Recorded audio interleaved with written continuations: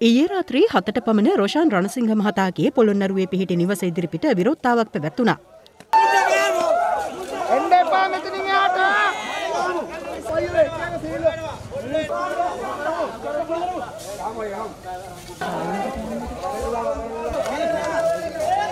විරෝධතාවයේ යෙදුණු පිරිස ඔහුගේ නිවසට ගල්මුල් ප්‍රහාරයක් දෙල්ල කර තිබෙනවා.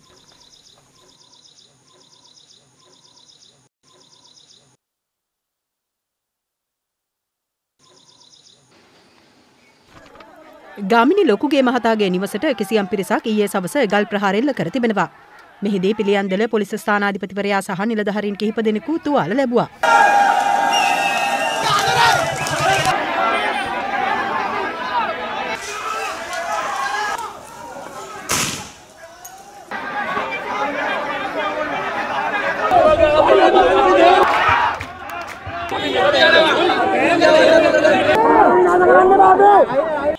කලාකරුවන් පිරිස සංවිධාන කළ විරෝධතාවක් ඊයේ පැවැත්වුණේ රාජගිරිය ගුවන් පාලම අසලදී. රටේ වත්මන් ගැටලුවලට වහා විසඳුම් ලබා දෙන්න ලෙසයි ඔවුන් ඉල්ලා සිටියේ.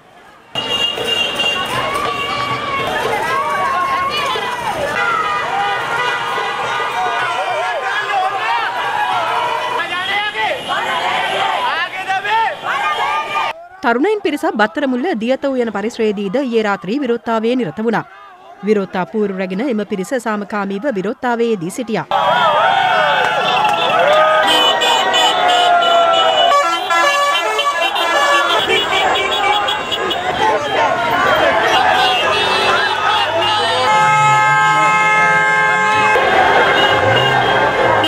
කෙහෙලිය නබුක්කැල්ල මහතාගේ මහනුවර බහිරව කන්ද ප්‍රදේශයේ පිහිටි නිවසටද ඊයේ සවස ගල් ප්‍රහාරයක් එල්ල වුණා.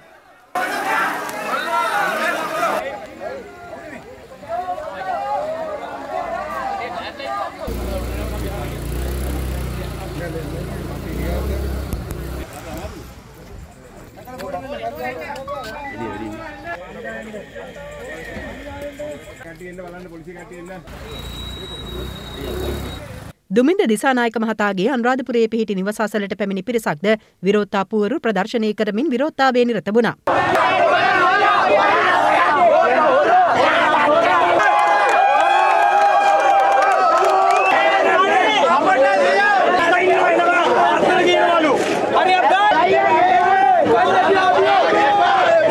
අනුරාධපුරයේ පිහිටි චන්න ජයසුමන මහතාගේ නිවසටද පිරිසක් පහර දී තිබෙනවා.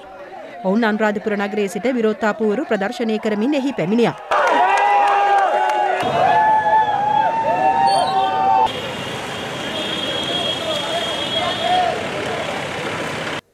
අනුරාධපුරයේ කුරුන්දන් කුළම පිහිටි එස්.එම්. චන්ද්‍රසේන මහතාගේ නිවසටද ඊයේ රාත්‍රී ප්‍රහාරයක් එල්ල කර තිබෙනවා.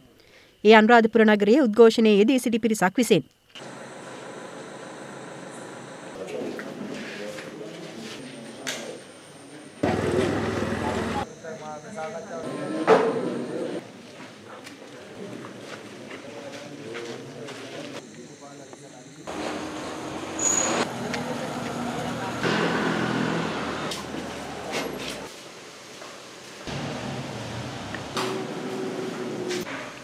විරෝධතාකරුවන් පිරිසක් අනුරාධපුරයේ පිහිටි ශිහාන් සේමසිංහ මහතාගේ නිවසටද ප්‍රහාරයක් එල්ල කර තිබෙනවා.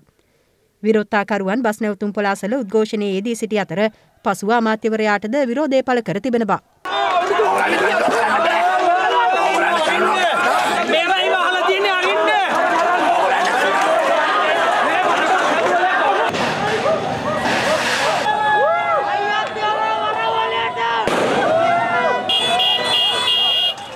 අනුරාධපුර නගරාධිපති එච්.පී. සෝමදාස මහතාගේ නිවසටද උද්ඝෝෂකයන් පිරිසක් ප්‍රහාර එල්ල කර තිබෙනවා.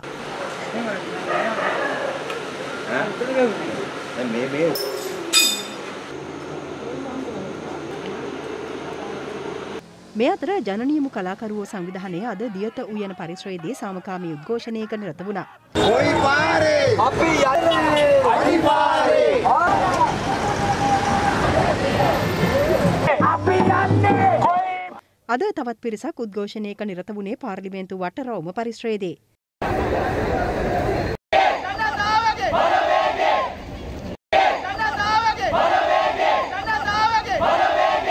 සාමකාමී පාගමනක් අද කොළඹ බිෂොප් නිල නිවසාබියසින් ආරම්භ කෙරුණා.